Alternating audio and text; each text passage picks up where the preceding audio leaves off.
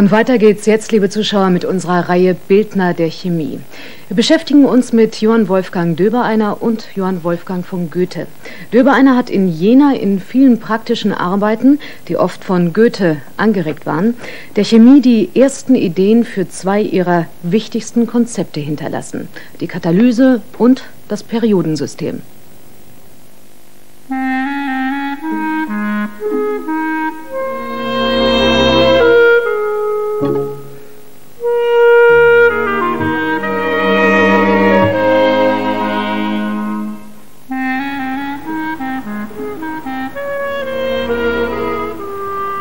Provinzstädte haben das traurige Schicksal, dass sie in den Biografien der größten ihrer Söhne nur in der ersten Zeile auftauchen, geboren dann und dann zu, in unserem Falle, Hof. Nur die halboffizielle Chronik der Stadt Hof schmückt den zunächst unauffälligen Tatbestand naturgemäß etwas opulenter aus. Als im Jahr 1780, elf Tage vor der Weihnacht, am Mittwoch, dem 13. Dezember, dem im Diensten eines Herrn von Lindenfels stehenden Kutscher Johann Adam Döbereiner ein Söhnlein geboren wurde, konnte man nicht ahnen, dass ein deutsches Genie seine Erdenlaufbahn begonnen hatte. Der Kutscher und seine Frau bekundeten eine Art sechsten Sinn, als sie ihren Sprössling auf die gleichen Vornamen taufen ließen, die ein berühmter Zeitgenosse trug.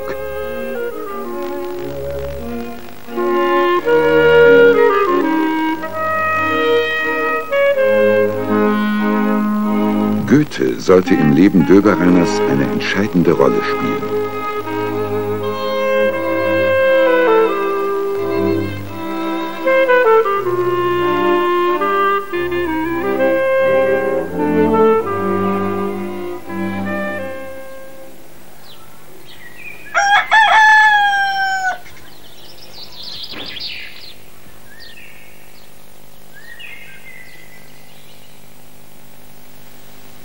Wenige Monate nach Johann Wolfgang Döbereiners Geburt zog die Familie auf das Rittergut Bug in der Nähe Münchbergs am Rande des Fichtelgebirges.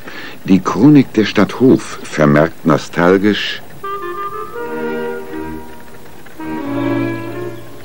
In dem entlegenen Bug am Fuße des Fichtelgebirges verlebte Johann Wolfgang Döbereiner seine Jugendjahre. Die ewig grünen Fichten des Waldsteins umrauschten seine Kinderträume und raunten in seine Seele das Lied der Heimat, das er nie vergaß und das noch in den Tagen des Alters seine Seele mit Sehnsucht füllte.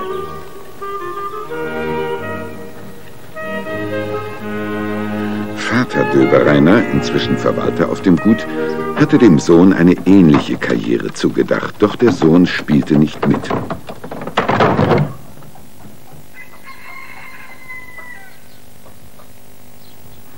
Gegen entschiedenen Widerstand des Vaters, aber mit Unterstützung der Mutter, setzte Döbereiner durch, dass er im nahen Münchberg Apotheker lernen durfte. Der Apothekergeselle ging dann auf die Wanderschaft.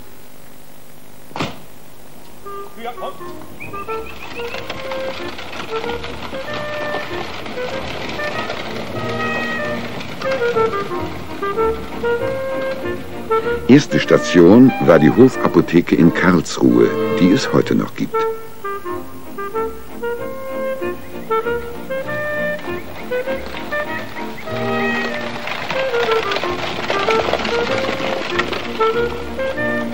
Dann die Hirschapotheke in Straßburg, die ebenfalls noch existiert. In Straßburg versuchte Döbereiner auch durch Umgang mit den Professoren der Universität seine mangelnde Schulbildung auszugleichen und gleichsam auf dem zweiten Bildungsweg Naturwissenschaftler zu werden. Schließlich kehrte er nach Münchberg zurück und wurde noch einmal Gehilfe in seiner alten Apotheke.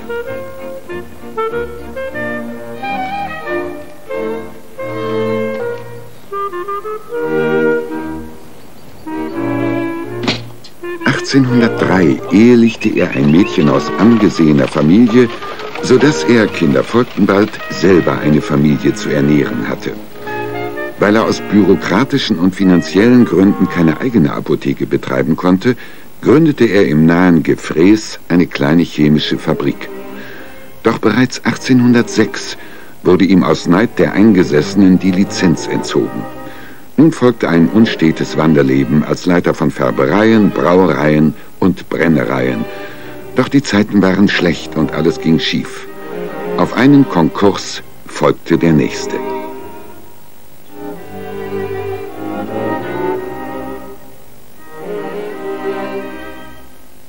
Doch nebenher veröffentlichte er in angesehenen Zeitschriften seine praktisch-chemischen Beobachtungen. Mit diesen Arbeiten erwies er sich als seines Glückes Schmied. 1810 ereilte ihn in tiefster Not eine Berufung als Professor der Chemie an die Universität Jena. Anfangsgehalt 350 Taler jährlich, sowie ein Naturaldeputat von 10 Scheffel Korn und 10 Scheffel Gerste. Wie es damals an der Jenaer Universität zuging, berichtet die Biologiehistorikerin und Goethe-Kennerin Dorothea Kuhn. Döberreiners Berufung nach Jena erfolgte durch den Herzog Karl August von Sachsen-Weimar-Eisenach. Die traditionsreiche Universität Jena hatte ihre erste Blütezeit schon nach dem Dreißigjährigen Krieg gehabt. Sie unterstand einer Reihe von sogenannten Erhalterstaaten. Das waren die sächsisch-thüringischen Duodezfürstentümer wie Sachsen-Coburg-Gotha, Sachsen-Altenburg, Sachsen-Meiningen und eben Sachsen-Weimar. Das Interesse der jeweiligen Landesherren an der Hochschule wurde oft genug nur durch Rivalitäten angeregt die Mittel flossen spärlich. So gab es immer wieder Aufschwünge und Niedergänge in der Universitätsgeschichte Jenas. Goethe konnte dazu beitragen, dass seine Zeit ein rühmliches Kapitel bildet. Ihm wuchsen durch seine Ministertätigkeit besondere Aufgaben zu in der Oberaufsicht über die Jena wissenschaftlichen Einrichtungen oder Anstalten, wie man das nannte. Zahlreiche ihrer Akten tragen Goethes eigenhändige Unterschrift und sind in seinem persönlichen Stil abgefasst. Jena, die Universität und die Menschen also schufen eine Umgebung, in der Goethes naturwissenschaftliche Studien Grund und Boden bekamen. Sein Interesse an der Naturforschung war aber nicht erst dort geweckt worden. Goethe hatte als junger Mensch Jura studiert, dabei aber auch naturwissenschaftliche Vorlesungen gehört. Naturwissenschaftliche Anregungen ganz anderer Art bekam er von einer Freundin der Familie Goethe. Katharina von Klettenberg, Witwe eines betrügerischen Alchemisten, die im Umgang mit dem Erbe ihres Mannes selbst ihre Liebe zur Alchemie entdeckt hatte. Zu jener okkulten Kunst, die in einmaliger Weise magisch-religiöse Vorstellungen mit handwerklichem Experimentieren vereinte. Vor allem in der Homunculus-Szene des zweiten Faustteils haben Goethes alchemistische Erfahrungen auch literarischen Niederschlag gefunden. Aber er beschreibt auch liebevoll eigene Versuche.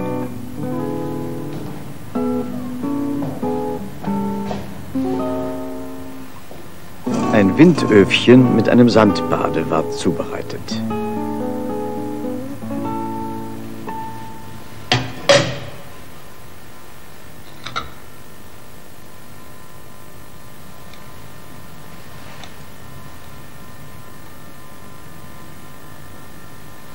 Ich lernte sehr geschwind mit einer brennenden Lunte die Glaskolben in Schalen zu verwandeln, in welchen die verschiedenen Mischungen abgeraucht werden sollen.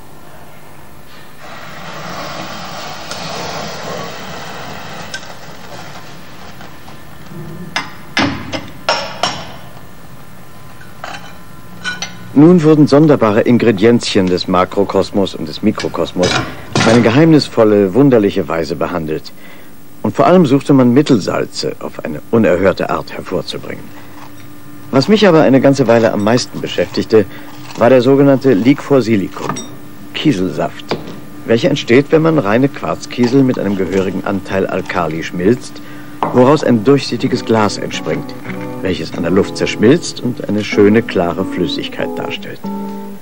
So wunderlich und unzusammenhängend diese Operationen auch waren, so lernte ich doch dabei mancherlei. 18 Jahre später. Goethe ist inzwischen Minister in Weimar und in dieser Funktion mit vielen Problemen der praktischen Chemie im Zusammenhang mit Bergbau und Gewerbe befasst. 1786 aber flieht er nach Italien, unter anderem um sich von Charlotte von Stein zu lösen. Und er zieht einen Strich unter die alchemistischen Tendeleien seiner Jugend. Am 5. Oktober schreibt er aus Venedig, er werde sich nach der Reise zu den Handwerkern wenden und wenn er zurückkomme, Chemie und Mechanik studieren. Denn die Zeit des Schönen ist vorbei. Nur die Not und das strenge Bedürfnis erfordern unsere Tage.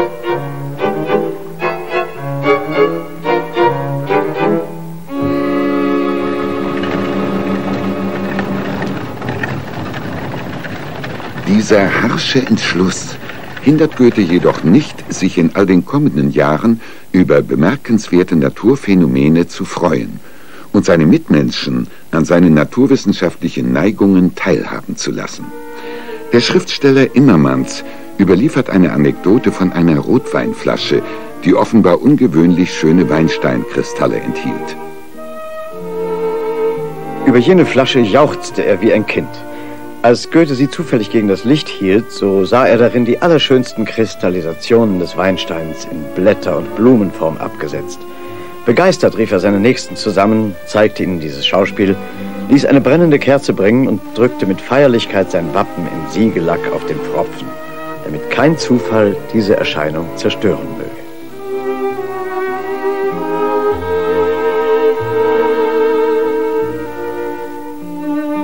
Auf diesen Goethe, für jede Naturwissenschaft stets aufgeschlossen, inzwischen fast in pensionsfähigem Alter, aber ein mächtiger Mann von Welt, traf am 8. November 1810 in Weimar zum ersten Mal der 30-jährige, stellungslose, bettelarme, kinderreiche Apothekenprovisor Johann Wolfgang Döbereiner. Und es begann eine jahrelange, von gegenseitigem Respekt, wenn nicht von Freundschaft geprägte Beziehung. Abgesehen äh, zunächst einmal von den gemeinsamen naturwissenschaftlichen Interessen hatte Goethe eine große Vorliebe für Persönlichkeiten, die durch Fachwissen und Können ihren Weg gemacht hatten. Tüchtig, auch derb tüchtig nannte er bewundernd und auch liebevoll Männer wie den Maurermeister und Musiker Karl Friedrich Zelter, seinen Freund. Nachdem er Döberreiners wackeres Wirken und dessen fürtreffliche Art eine kurze Zeit beobachtet hatte, schrieb er in einem Bericht an Karl August. Döberreiner geht in seiner Sache derb und tüchtig fort und gewinnt täglich eine größere Gewandtheit in seinem Metier. Es ist ihm bei diesem wunderlichen Schachspiel der Elemente alles höchst gegenwärtig und zur Hand. Döbereiner benutzte seine praktischen Fertigkeiten und seine theoretischen Einsichten mehr für qualitative als für quantitative chemische Untersuchungen. Ebenso fasste auch Goethe die Chemie auf. Er meinte, Physiker und Mathematiker sollten die Ansichten der messbaren Welt vortragen, während der Chemiker sich mit der Qualität der Stoffe zu befassen habe. Döbereiner hatte im alten Schloss zu Jena Labor und Hörsaal zugewiesen bekommen. Sehr komfortabel scheint das nicht gewesen zu sein, besonders nicht im Winter. Döbereiner klagt. Hier erstarrt im Winter der wärmste Chemiker in wenigen Stunden. Goethe besuchte Döbereiner gern in Jena, besonders nachdem dieser das Hellfeldsche Haus bezogen hatte. Dort unterrichtete Döbereiner übrigens auch. Und es ist nicht sein geringstes Verdienst, für die Chemiestudenten das noch heute übliche experimentelle Arbeiten am Labortisch eingeführt zu haben.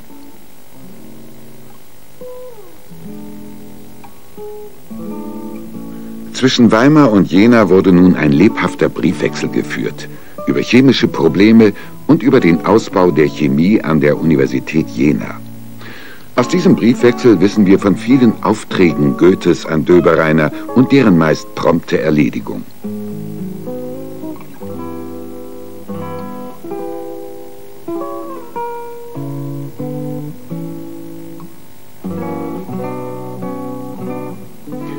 Manchmal kamen die Aufträge nicht vom Staatsbeamten Goethe, sondern direkt vom Dichterfürsten. Dieser hatte sich beispielsweise um 1815 während seiner Beziehung zu Marianne von Willemer intensiv mit orientalischer Dichtung und Literatur beschäftigt. Und so interessierte er sich auch für die Frage, worauf die Qualität persischen Waffenstahls beruhe. Döbereiner fand, dass man dem Stahl Mangan beimischen müsse, was man für bestimmte Zwecke heute noch tut.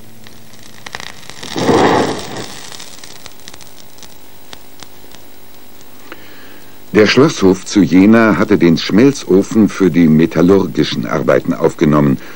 Und weil das Trio Karl August, Goethe, Döbereiner wie alle Chemiefreunde einen Hang zum Pyromanischen hatte, zum Feuerzauber, folgten weitere Versuche.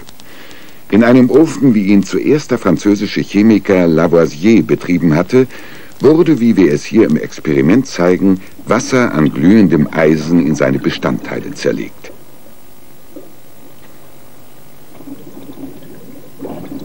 Der Sauerstoff wird dabei als Rost gebunden, der Wasserstoff wird als Gas frei. Später wurde der Ofen zur Gewinnung von Leuchtgas aus Kohle umgebaut, um im Schlosshof einen Großversuch zur Straßenbeleuchtung zu starten.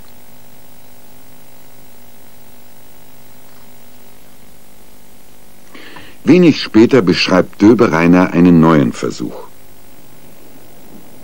Ich habe gefunden, dass Kohle und Wasser bei ihrer Wechselwirkung in hoher Temperatur das wohlfeilste und reinste Feuergas geben.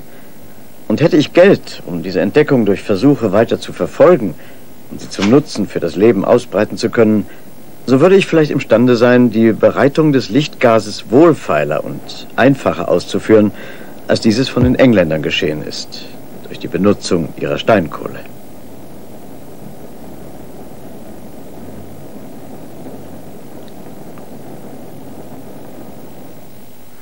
Diese Entdeckung war nun in der Tat ein Meilenstein in der technischen Chemie.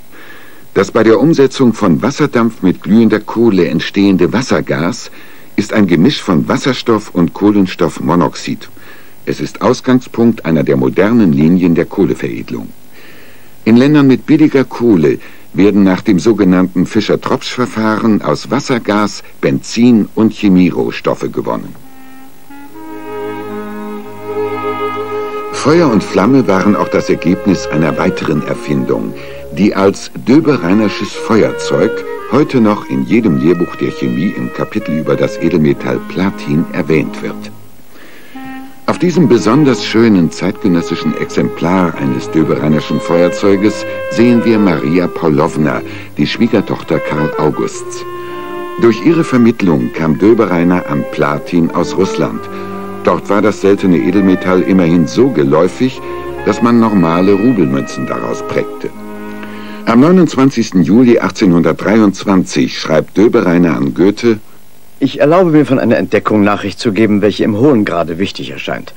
Ich finde nämlich in Versuchen über das Verhalten einiger Platinpräparate gegen verschiedene elastisch flüssige Substanzen, dass das rein metallische, staubförmige Platin die höchst merkwürdige Eigenschaft hat, das Wasserstoffgas durch bloße Berührung und ohne alle Mitwirkung äußerer Potenzen zu bestimmen, dass es sich mit Sauerstoffgas zu Wasser verbindet, wobei eine bis zum Erglühen des Platins gesteigerte Summe von Wärme erregt wird. Damit hatte Döbereiner ein Phänomen entdeckt, das der schwedische Chemiker Berzelius dann Katalyse nannte. Ein Stoff, zum Beispiel Platin, setzt eine chemische Reaktion in Gang, bleibt aber selbst dabei unverändert. Und so funktioniert das Döberanersche Feuerzeug. In den unteren Teil kommt verdünnte Schwefelsäure.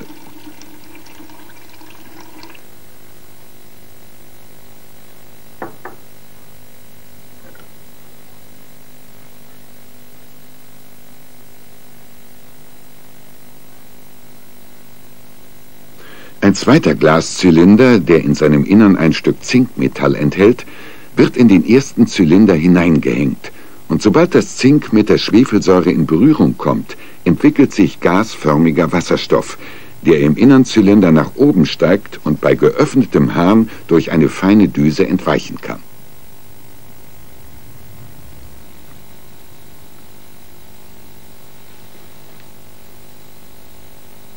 Der Hahn wird jetzt wieder geschlossen und wieder geöffnet, damit wir die Selbstentzündung des Wasserstoffs am Platin beobachten können.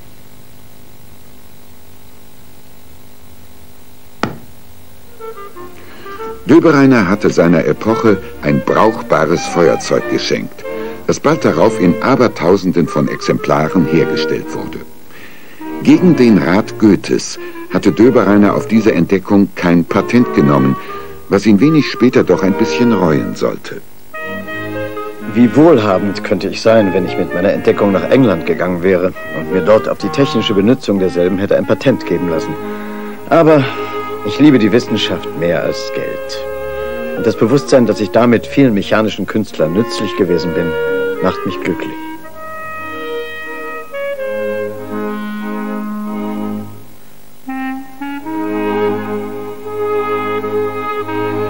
Geld hatte die Entdeckung des Feuerzeugs Döbereiner nicht gebracht. Sie trug ihm aber immerhin eine Beförderung durch seinen Landesherrn ein – sowie das Ritterkreuz des Weimarerischen Hausordens der Wachsamkeit oder vom Weißen Falken. Döbereiners Erfindergeist ruhte nicht. Es gelang ihm, Glaskugeln mit einem Platinspiegel zu überziehen. Er tauchte diese Kugeln zuerst in die Lösung einer Platinverbindung und erhitzte sie anschließend. Vielleicht war es die Hoffnung, diese Erfindung zu vermarkten, dass er einen etwas merkwürdigen, aber zeittypischen Gebrauch davon machte. Er schreibt an Goethe, ich benutze diese kleine Erfindung vorläufig zur Darstellung einer neuen Form von Duft- oder Räucherlampen, welche wie die Glüh- oder Nachtlampen gebraucht und behufs des Parfümierens der Zimmer mit rektifizierter Eau de Cologne oder einem anderen wohlriechenden Gas gefüllt werden.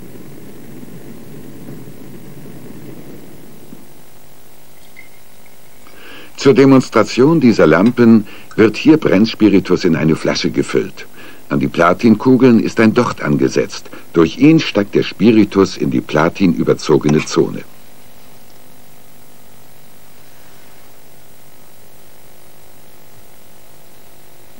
Das Platin wird kurz erhitzt.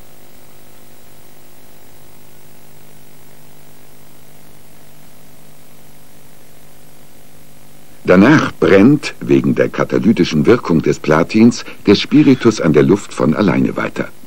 Duftende Beimengungen verdampfen dabei in den Raum. Döbereiner hat seine Erfindungen nicht nur als Experimente ansehen können. Er musste auch zusehen, damit Geld einzunehmen, denn als Professor in Jena war sein Gehalt gering. Er war nur von Karl August, einem der Erhalter der Universität, eingestellt und von dessen Mitteln, der sogenannten Privatschatulle des Herzogs, abhängig.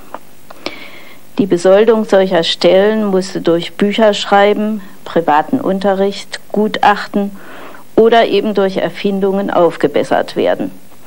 Zudem war man darauf angewiesen, Deputate für Heizung und Ernährung und Zuschüsse für die Wohnung zu erbitten. Karl August, der den Wissenschaften und besonders den Naturwissenschaften viel Verständnis entgegenbrachte, versuchte zu helfen, wo er konnte. Goethe hat sich immer wieder vermittelnd eingeschaltet und handfesten Beistand geleistet. So konnte er 1816 befriedigt sagen, dass ich Döbereiner und somit der Chemie in Jena für ewig eine Burg erbauen kann, gibt mir eine behagliche Tätigkeit.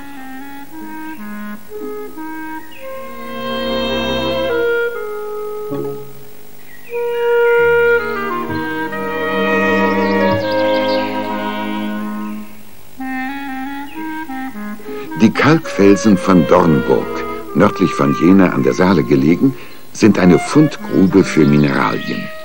Sie führten Döbereiner 1829, noch vor dem Tode Goethes, zu seiner wohl wichtigsten Arbeit aus der theoretischen Chemie.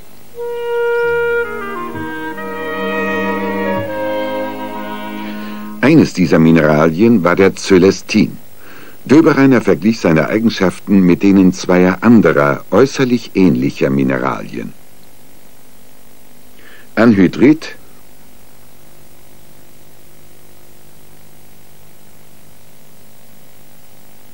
und Baryt. Es sind dies die auch chemisch nahe verwandten schwefelsauren Salze der Metalle Calcium, Strontium und Barium.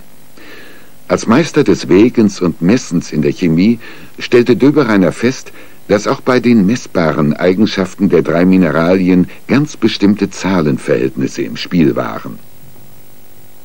Zum Beispiel betrug das spezifische Gewicht des Cölestins exakt den Mittelwert der beiden anderen Mineralien.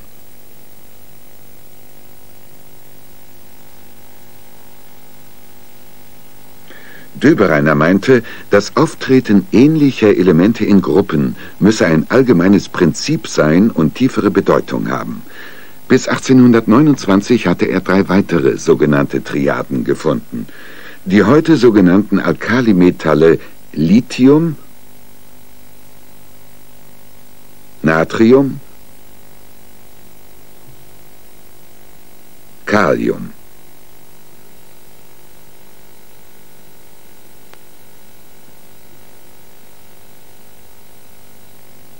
Dann die Elemente Schwefel,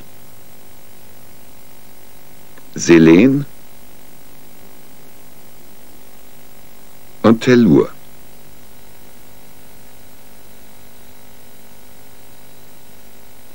Und schließlich die Halogenelemente Chlor, Brom und Jod.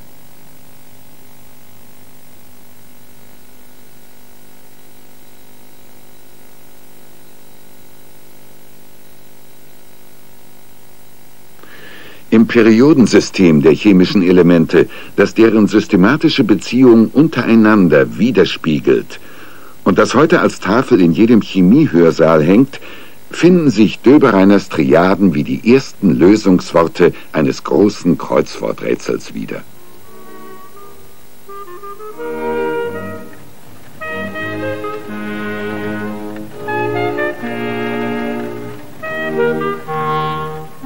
Am 23. März 1849 starb Johann Wolfgang Döbereiner an Speiseröhrenkrebs. Einer Berufskrankheit?